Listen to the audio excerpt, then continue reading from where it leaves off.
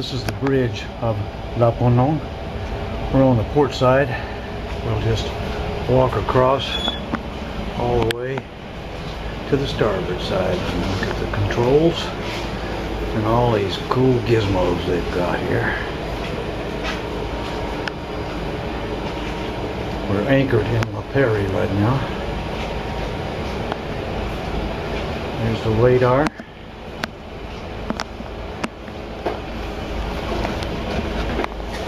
Chart. You see the Perry there.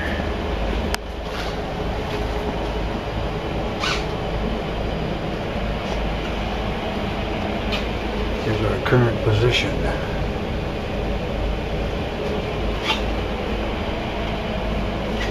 Swing back around to port.